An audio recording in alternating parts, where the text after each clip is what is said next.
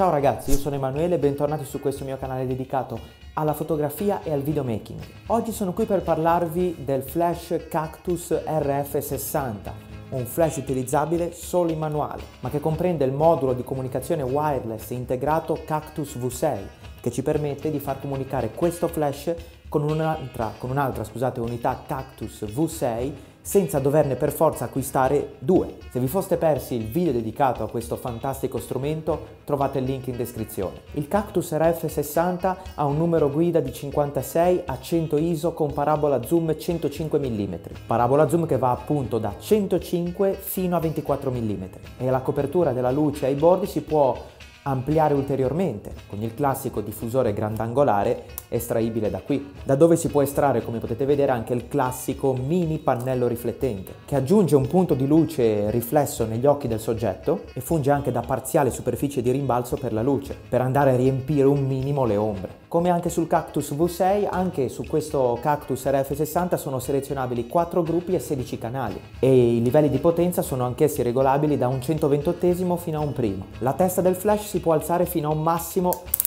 di 90 gradi, con step intermedi di 75, 60 e 45 gradi, mentre si può orientare fino a 180 gradi a sinistra e fino a 90 gradi verso destra. Ciò che mi ha un po' spiazzato di questo flash è la posizione della filettatura per il treppiede. Guardate dov'è. Sono sempre stato abituato a quella della Nikon che si trova, se ricordo bene, sotto al piedino in dotazione. Sul medesimo lato abbiamo anche una porta micro USB e l'ingresso per il cavo Synchro Flash. Il Cactus RF60 ha tre modalità di funzionamento, Local, Master e Slave. Local è quando il flash è montato direttamente sulla fotocamera. Sulla sinistra possiamo impostare la potenza del flash e sulla destra lo zoom della parabola. Con la modalità Master invece quando stiamo utilizzando più di un Cactus RF60 possiamo utilizzarne uno come centro di controllo montato anch'esso in questo caso sulla fotocamera per regolare le potenze degli altri RF60 impostati in modalità Slave. Cliccando sul pulsante Group possiamo andare a stabilire la potenza e la parabola zoom di ciascun flash accoppiato con un determinato gruppo. Se invece vogliamo regolare tutti i gruppi insieme, basta tenere schiacciato il pulsante Group.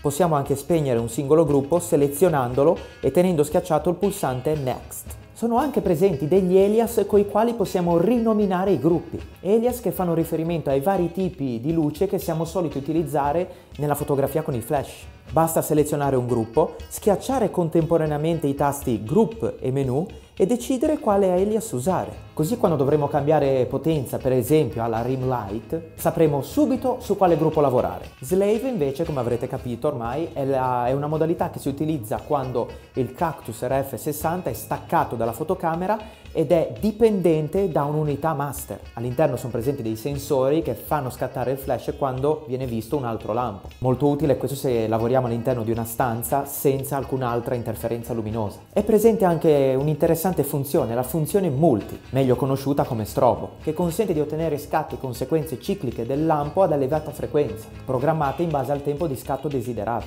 Nella stessa foto possiamo ad esempio catturare più momenti della stessa azione. Basta selezionare il numero di flash per scatto e la frequenza di lampi per secondo. Ad esempio, se in un secondo voglio 10 lampi, faccio 1 per 10, che fa 10, e imposto quindi numero di flash per scatto 10, frequenza lampo al secondo 10. È consigliabile utilizzare questa funzione con potenze non troppo alte, in modo da non stressare troppo il flash e dargli il tempo di ricaricarsi. È una cosa che non ho detto, quando il flash è pronto la spia test eh, rimane accesa. La funzione delay timer consente invece di ritardare il lampo del flash, praticamente è la funzione del flash sulla seconda tendina, nella quale il flash viene attivato al termine del tempo di scatto, utile per avere un soggetto fermo grazie al lampo del flash e ottenere invece delle scie dagli altri oggetti in movimento grazie al tempo di esposizione prolungato. Infine la funzione High Speed Sync che serve per superare il limite tecnico dei tempi di scatto con il flash, che di solito si attestano su un 256 di secondo. Con questa funzione possiamo utilizzare tempi molto più rapidi, ad esempio per congelare il movimento di un soggetto, con però una significativa perdita di potenza, per cui o avviciniamo il flash al soggetto oppure ne utilizziamo due insieme. Per cui ragazzi questa era una panoramica del Cactus RF60, acquisto che valuterei sia per coloro che vogliono aggiungere un flash alla propria attrezzatura, sia per coloro che stanno valutando l'acquisto del sistema Cactus V6. Infatti visto che l'RF60 è compatibile con il V6 avendo già al suo interno il modulo di comunicazione wireless, vi basterà un solo Cactus V6 da attaccare sulla vostra reflex per comandare a distanza questo RF60.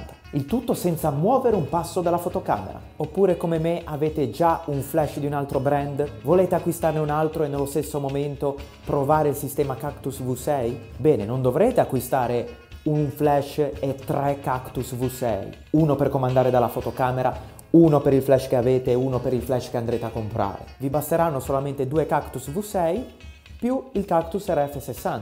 Almeno così ho deciso di fare io visto che avevo trovato l'RF60 a un prezzo abbastanza vantaggioso. Se volete in descrizione trovate i link ai prodotti Cactus V6 e Cactus RF60 su Amazon. Per cui ragazzi a me non resta altro che ringraziarvi della visione, vi ricordo che mi potete trovare sia su Facebook che su Instagram e io vi do appuntamento ai prossimi video. Ciao a tutti!